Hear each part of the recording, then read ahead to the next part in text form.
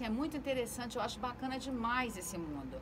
E, às vezes, a gente está conectado com o mundo, Adriano, e não está conectado com a gente. É Aí eu digo o seguinte: você quer entrar em contato com você? Faça formação teórica em psicanálise. Sabe por quê? É uma oportunidade de você saber por que, que às vezes você está sofrendo tanto. Porque quanto mais conectado o mundo, mais distante emocionalmente você fica das pessoas e de você. Então você tem que aprender a entrar em contato com você. E a psicanálise é isso que a gente faz todas as quintas aqui, uma estação saúde, dicas de comportamento. E lá você vai aprender quem é você. Porque às vezes a gente gasta uma vida acusando o outro. Ontem eu postei um vídeo pro YouTube onde eu falei assim: todo homofóbico é homossexual? Foi uma polêmica. E eu deixo essa pergunta para você: todo homofóbico é homossexual? Será que aquilo que a gente aponta, a gente revela? É um mecanismo de defesa da projeção, que é lá do, da psicanálise. Então, se você quer aprender essas coisas, sábado agora eu vou ter uma turma que eu vou explicar mecanismos de defesa do ego. Ego é personalidade.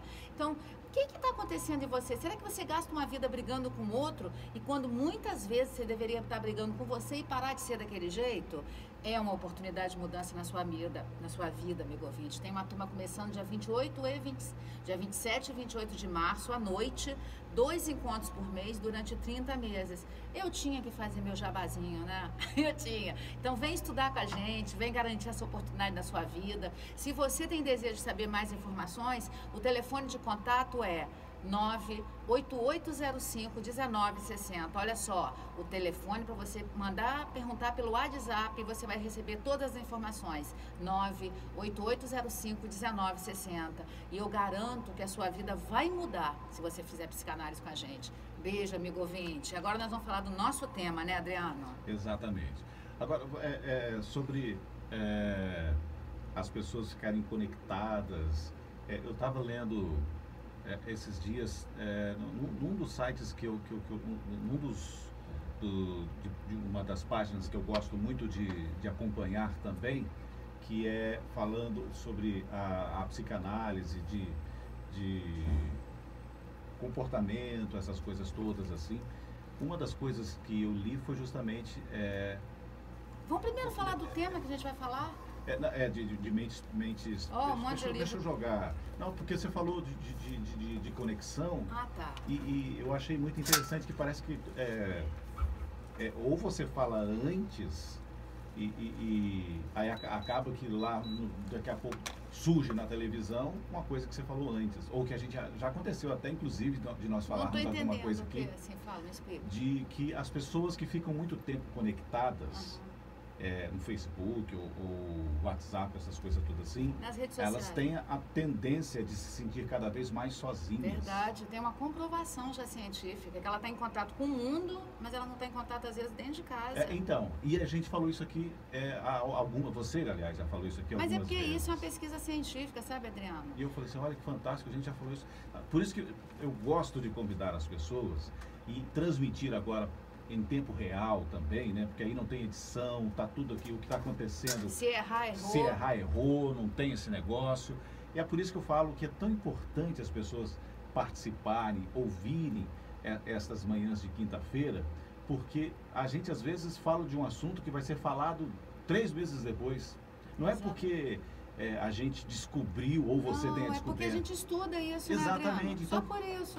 E o senso comum não estuda. Gente, eu, por exemplo, como psicólogo, psicanalista, terapeuta familiar, economista também que eu sou, e uma estudiosa, amigo ouvinte, eu sou uma estudiosa, sabe? Olha que interessante, Adriano, eu tenho esse canal de YouTube, eu queria, amigo ouvinte, que você se inscrevesse lá, é Cássia Rodrigues, procura lá, assim, eu já tô com 3.500 inscritos, eu acho muito Que bacana. bacana, que legal. Número grande para um saber científico. É, é porque eu, eu não estou falando bobeira. Eu não sou Kéfera, nem Felipe Neto, nem Ederson, não, aquele. Não é uma comediante. Não, é. Eu estou falando de um saber. Eu estou explicando, eu estou puxando a orelha às vezes. Ontem, quando eu pus. Como o Lourenço está viajando, eu estou sublimando a saudade, né? Sublimar é um mecanismo de defesa para você não pensar. Você sublima, trabalha demais. Então, eu estou postando tanto vídeo, aproveita. Que eu, por dia, eu estou postando uns três. Quando ele está aqui, eu nem posto muito, porque ele dá tanto colorido à minha vida, que aí eu não tenho tanto tempo livre. E hoje eu fui levar curte para tomar banho. Curte é o, o Golden lá de casa. Quer dizer, eu tô fazendo papel de vó, de. Meu Deus do céu. tô- devo estar com cheiro de cachorro, de Golden Retriever. E, assim, eu postei ontem um vídeo onde eu falei o homossexual, o homofóbico é homossexual, hoje quando eu li os comentários, Adriano, impressionante, as pessoas comentam e dão retornos positivos e negativos também, lógico. A unanimidade e o rapaz falou assim: a sua inteligência tinha que ser estudada. Eu me senti um Einstein. verdade. E eu nem me acho tão inteligente assim. Eu me acho esforçada. De verdade. Eu não acho que eu tenho. Eu acho que eu sou esforçada, igual hoje. Como eu sabia que a gente ia falar de psicopata, do antissocial, desse transtorno de conduta até 18 anos, eu falei, eu preciso levar os livros, porque. Deixa eu só mostrar os livros para vocês. Esse é da doutora Ana Beatriz, Mentes Perigosa. Tem o 1 e o 2. Esse é o 2. Tem meu vizinho é psicopata, você pode estar do lado morando com psicopata. E tem esse aqui, Psicopata do Cotidiano, que ela fez, essa autora aqui é a Katia Meckler, que ela fala que o psicopata pode estar no local de trabalho, aquele do colarinho branco. Hoje, a gente, essa corrupção sistêmica que a gente vive no Brasil, muitas pessoas são psicopatas. E o detalhe é que 4% da população é psicopata. 1% só está na cadeia. 1%. Quer dizer, 3% da população está solta aí, dando, fazendo você eh, sofrer o danos dele. E vamos falar em números reais, 100, 3% são 3 pessoas, de cada 100 pessoas, 3 é psicopata, entendendo que uma está presa, entendendo que a Suzana Volristoff está presa. Olha o Bruno, o Bruno estava preso e saiu. Aí vocês devem estar tá falando, ah, mas tadinho, foi o macarrão que matou. O Bruno é o que matou a Elisa Samúdio, né? Que fala? Samúdio? Samúdio. Samúdio. Ah, mas é, meu filho mesmo, que é Flamengo, adorava ele quando ele era goleiro do Flamengo, ele era um goleiro fenomenal. Ele fala, mãe, eu acho que ele falou assim, dá, dá um jeito na Elisa, ele não tem culpa. Mas quando você fala dá um jeito na Elisa, de repente, dependendo de quem você está em volta, você sabe que aquele jeito ia acabar com a vida. Porque, por exemplo, se eu falar, Adriano, dá um jeito na, na Elisa, se eu souber que você tem característica de destruir, de matar as pessoas, eu sei que você vai matar.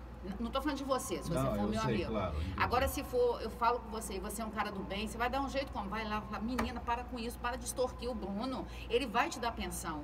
E o detalhe, ele não queria dar pensão para aquele filho. Então, de repente, por causa de 5 mil, ele acabou com a vida dele. Vou botar uns 5 mil assim. Uhum. E ó, tem times de futebol hoje que estão querendo chamar ele para ser goleiro. Os times de futebol que estão querendo chamar ele para ser goleiro são também um desvio de comportamento. Porque como você vai estar tá com uma pessoa que é tecnicamente capaz, mas comportamentalmente ele é capaz de mandar matar.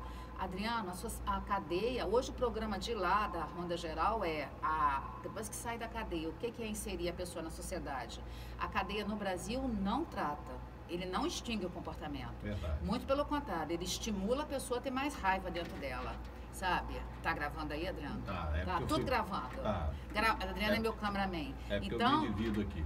É porque depois, pessoal, a, a todas essa, essa nosso bate-papo aqui com a Cássia também vai para o vai pro canal de YouTube. canal do YouTube da Cássia também. E eu gosto de colocar lá, sabe por quê? É um saber que é muito difícil de entender. Vocês devem estar pensando, não, coitadinho do Bruno, ele não é psicopata, será? Olha só outro caso do que foi preso, que é 1% que foi preso, que é o Guilherme de Pádua, que matou a Daniele Pérez, que é a filha da Glória Pérez, em 2013. 2003. 2003, já tem 23 anos que ela morreu. A menina tinha 21 anos. Ele matou com mais de 20 tesourada ou facada, alguma coisa, é, acho que é tesourada. Assim, uma. Ah, 2003? Três, Lourenço então, tinha três anos. Então tem 14 anos. Não, Lourenço tem 26. 2003 tinha... para 2017. Então 1929. Nossa, o tempo perde comigo. É. 1993. Lourenço tinha três anos, Lourenço nasceu em 90, é. é. Olha só como que o tempo a gente se perde. Então, Lourenço tinha três anos, eu lembro que o Lourenço tinha três aninhos, quando isso foi uma coisa bárbara, foi véspera de Natal, foi lá no Recreio dos Bandeirantes, na, sabe? Foi na Estrada dos Bandeirantes, lá no Rio, um local que na época era mais deserto. Esse rapaz, ele ficou preso lá não sei quantos anos, depois ele saiu e ele seduziu uma outra moça, foi para a igreja, eu sou convertido, vou para a igreja, porque, olha, o psicopata não é o pior, não é o que grita, não é o que é agressivo. O psicopata é o mais atraente, o mais sedutor. Porque se o cara brigou e deu show, ele pode ser outra coisa, mas não é psicopata. O psicopata ele nunca vai mostrar quem ele é. Ele vai ser muito gentleman, vai ser muito agradável, ele vai ser aquele grande manipulador. Ele às vezes não mata, ele manda matar. Olha o caso do Bruno. Ele não mata, as mãos dele são limpas, mas ele se junta com pessoas que mandam matar. Então, é, eu não estou afirmando que o Bruno, esse jogador, é psicopata. Eu estou afirmando que ele tem características que são estranhas. Porque eu não sou médica psiquiatra. Só quem pode dar esse diagnóstico é um médico psiquiatra. Por isso que a doutora Ana Beatriz, ela é médica psiquiatra, ela fez esse, tem dois livros dela. Esse é o número dois, que aqui ela já inclui o caso da Eloar que no primeiro, número um, ela não inclui. No número um está o Guilherme de Pádua. Na verdade, o livro Mentes Perigosa começou ela e a Glória Pérez, uma parceria para explicar o comportamento do Guilherme de Pádua. E quando ela foi entendendo o comportamento do Guilherme de Pádua, que ele era psicopata, ela quis estender o livro, falou do Maníaco do Parque, falou da Susana von Richthofen. Olha a Susana von Richthofen, amigo ouvinte, está na, na mídia, é só a gente conversar. Primeiro a gente está falando de 1% que mata ela primeiro seduz lá um Sandrão, que eu não lembro o nome da moça, que se apaixonou por ela, porque ela é muito bonitinha, muito agradável, fala baixinha, toda indutória, toda. Sabe, se vocês quiserem entender isso que eu estou falando, vai lá, bota Renato é, Minta para mim, um cara que faz análise do rosto, que tem no canal de YouTube. E ele analisou ela dando entrevista para o Gugu, porque ele, aqui no rosto nós temos sete movimentos que a gente fala. Uhum. Olha só, Adriano fez assim agora, ó surpreso. Aí quando vem aquela carinha assim, desprezo. Então nós temos sete expressões aqui, é um saber do Paul Whitman, um psicólogo. E essas sete expressões que nós temos no rosto chamam as microexpressões faciais. Nós temos tristeza, nojo, desprezo, alegria, medo, surpresa, é. medo. E aí esse Renato, porque o Renato se inspirou Minta para mim com Light to Me, que é a série do Netflix, que é Minta para mim, ele botou a portuguesou o nome. E ele, eu vi que ele é uma pessoa séria, ele realmente, Renato Ventura é o nome dele lembrei agora, não é Renato Loureiro, é Renato Ventura. E ele fez análise. Quando ele faz análise, toda vez que você mente, porque a gente pensa que o mentiroso não encara nos olhos. É. Uma coisa que tem que cair por terra. O mentiroso sabe que ele está mentindo. Então ele encara nos olhos para você acreditar nele. Agora, se você e não. Ele perceber também, para ele saber se a história está sendo convincente Exatamente. e se ele pode seguir aquela mesma linha. Exatamente. Uma das características do psicopata, dessa pessoa que tem transtorno antissocial, é que ela mente para induzir o outro. Quando você está conversando com alguém, exceto uma entrevista, eu estou numa entrevista aqui, eu tenho que ficar fixada que eu sei que eu estou Adriano está gravando e eu estou gravando é, ali. Estamos filmando. Exatamente. Mas tô, ó, eu vou te dar um, uma receita mágica. Todas as vezes que você perguntar alguma coisa a alguém, ela buscar aqui do direito, aqui em cima, ela está criando. Ela está criando. Se você pergunta ao seu marido, amor, aonde você foi? Ele fala, eu estava trabalhando. Pode saber que não estava. É, e existe também uma pausa também, às vezes, né? Porque ele vai criar uma história. Então ele e, tem que... E, e, tem um outro macete muito bom também, para tá, me conta detalhes do que, que você fez. Aí ele conta, depois fica tá, ok, fala de trás para frente. Não, isso aí não, isso aí é coisa do Adriano. É, não, para contar a história Mas de trás para frente. Mas isso não é lado científico, eu estou falando científico. É, não, inclusive tá no, no, no, no, num dos livros lá do, do da para descobrir mentiras. Não, mas é para quando... descobrir. Eu estou falando de um saber científico. Isso aí é as coisas de PNL. É, de não, porque para você. É, exatamente. É, PN, PNL é. é um outro saber. É, Adriano, não confunda a camisa do amigo ouvinte. Não, todo mundo. Vamos é, só falar assim. Eu estou comparando as ideias. Isso, só. mas assim, metade está certo. A pessoa busca aqui a mentira e ele dá uma pausa. Elabora, que ele é. tem que pensar direitinho na mentira. O de trás para frente, Adriano vai contar na mesa do bar, né, Adriano? É, mas... mas aqui tá perfeito o que você falou. Agora, se a pessoa tá mentindo, Adriano, ou tá mentindo aqui. Agora, se a pessoa tá falando a verdade, ela também vai nas pausas, Adriano. Você acredita que ela vai nas pausas? Sim. Ela também tem que lembrar o fato. Aí você fala, peraí, deixa eu lembrar. E várias vezes eu estou gravando o áudio e o vídeo, eu gravo virado para minha câmera. Eu vejo que na hora que eu estou tentando lembrar, eu viro o olhar para aqui sabe? E quando você é um artista, você está criando uma fantasia, você. Porque você está contando isso. Quando eu estou dando aula, eu sempre falo que quando eu dou aula, eu sou um personagem. Eu não sou aquela pessoa que eu dou aula. Eu me cansaria de ser aquela pessoa over o tempo todo. Eu sou mais tranquila, por incrível que pareça. Eu sou caseira. Ó, eu só gosto de ir pra praia. Meu passeio predileto pra praia. De noite eu tô cansada, eu quero dormir. Já foi o tempo que eu tinha meus 26 anos que eu queria ser aventureira igual a Lorenzo. Hoje eu tenho 30 anos a mais que Lorenzo. Então, às vezes, você cria também. Você busca na sua memória, você busca pausadamente. Agora, por que, que eu tô te falando que de trás para frente a pessoa se confunde? Eu não tenho essa capacidade. Eu. Se eu for ter que contar uma história de trás para frente, eu vou me embananar todinha. Por isso que não é científico isso. Por isso que eu te interrompi. Até desculpa, tá, pessoal? Fãs do Adriano, me perdoe. Porque dependendo da pessoa, isso não dá certo. Igual o Ricardo até Ventura explica lá. Tem gente que ela vai buscar aqui, mas tem gente que é invertida.